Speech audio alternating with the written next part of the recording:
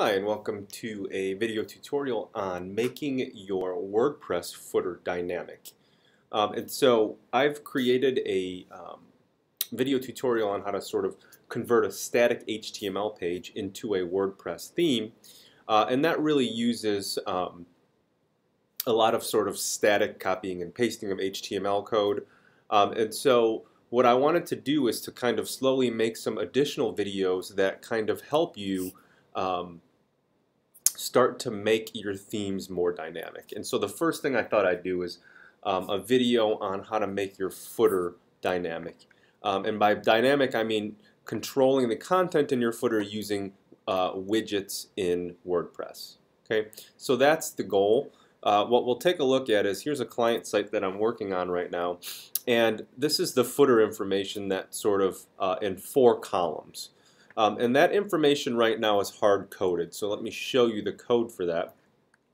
That's hard-coded in HTML uh, in our footer.php file.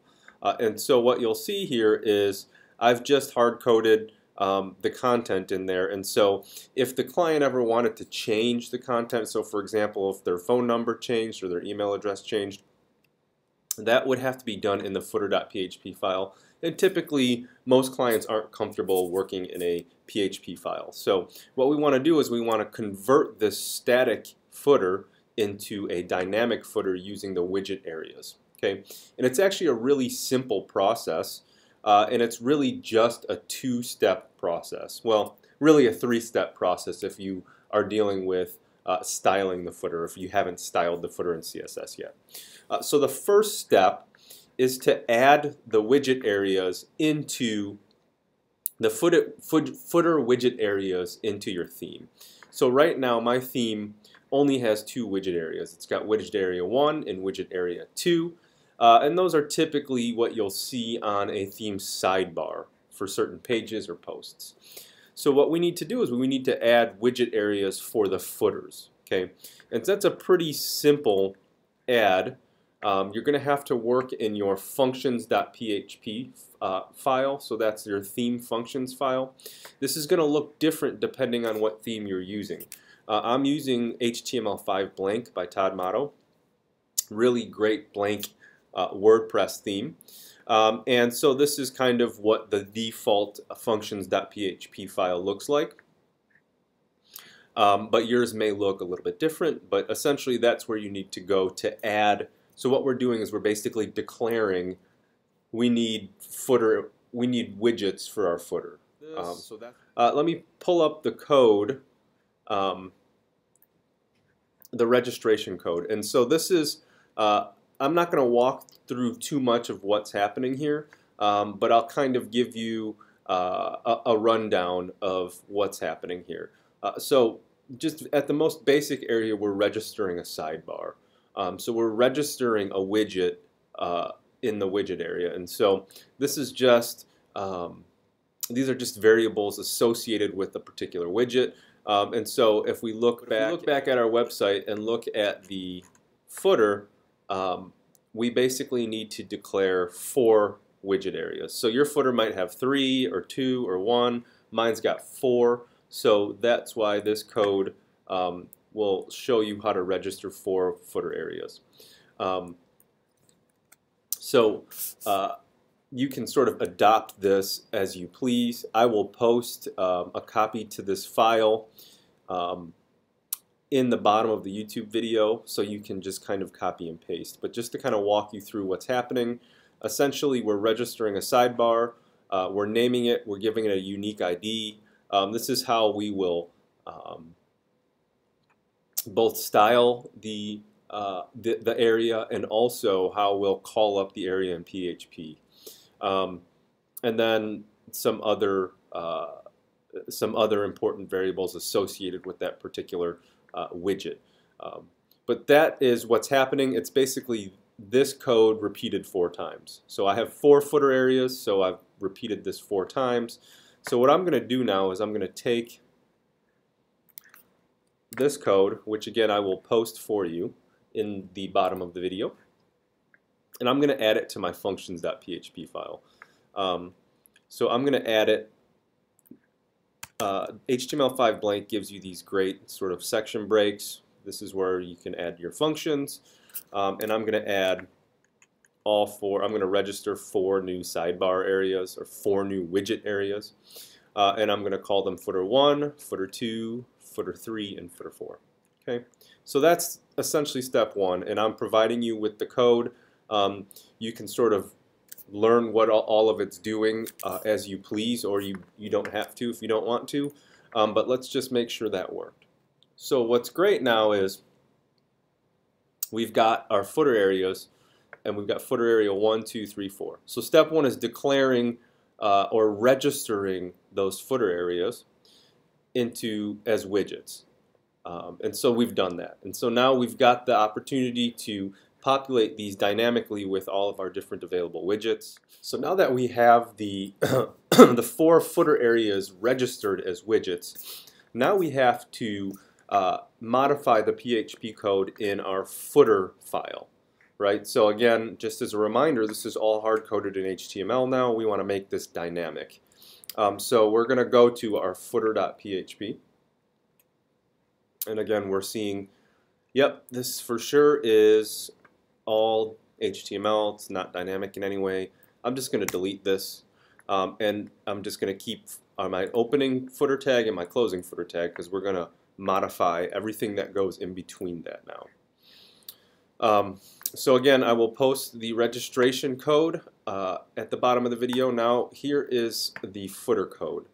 Um, so let me just quickly walk through this before I paste it in.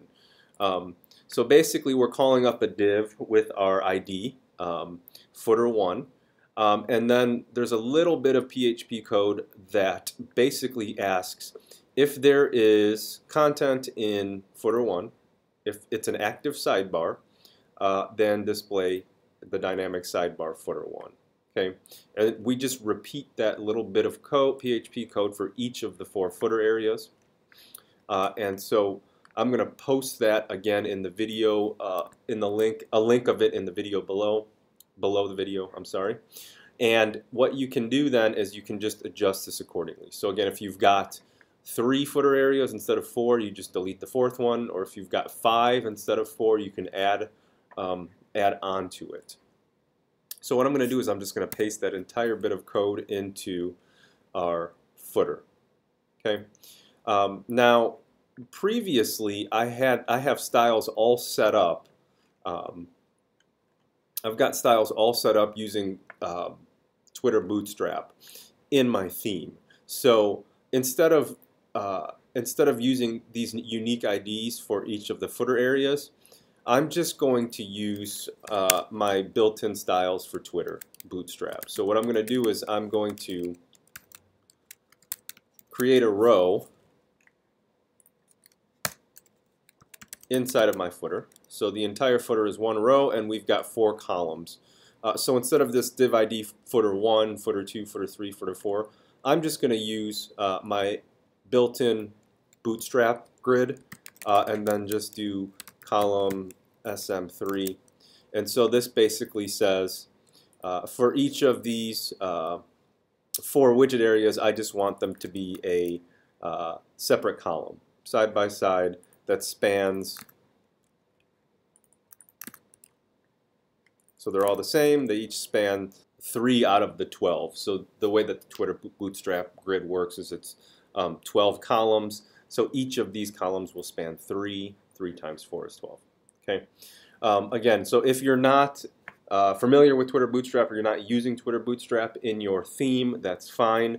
Um, you can call these, you can wrap these, uh, this little bit of PHP code into any, really any um, ID or class and then style it as you please. But I've already got them styled, um, so that's how I'm going to proceed. Uh, so I'm going to update my file here, and that's it. So I've pretty much set up, um, I've pretty much got it all set up. So what I can do is I can refresh now and you'll see there's nothing in the footer because there's actually nothing in our footer areas. Okay, so what I'm going to do real quickly is just kind of show you how this works. Uh, in footer area 1, I'm just going to add a menu because that's what I had. I'm going to call it sitemap.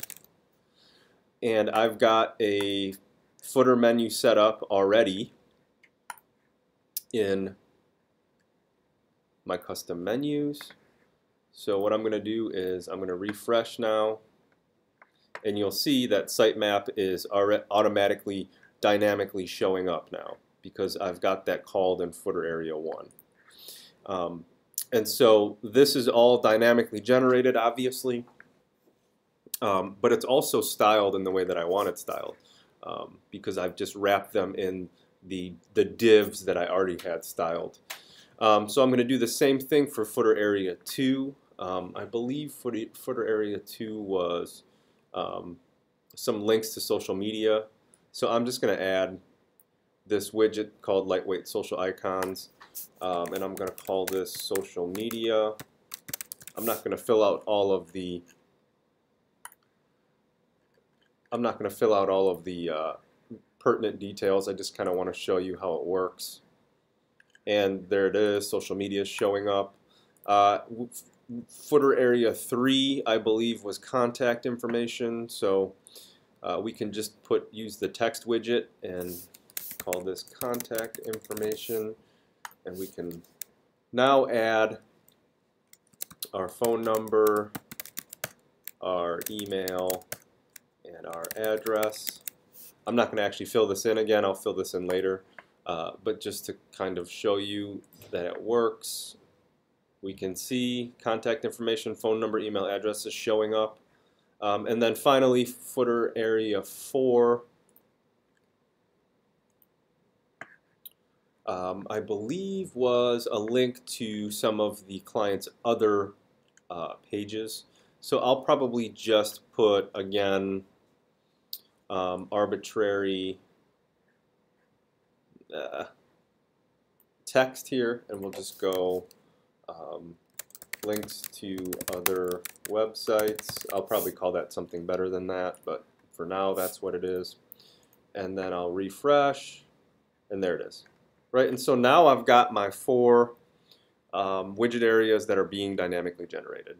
And, and since I've got it all um, I've got it all set up on the Bootstrap grid. It's all dynamic as well, uh, or it's responsive as well. Um, but that is maybe another video.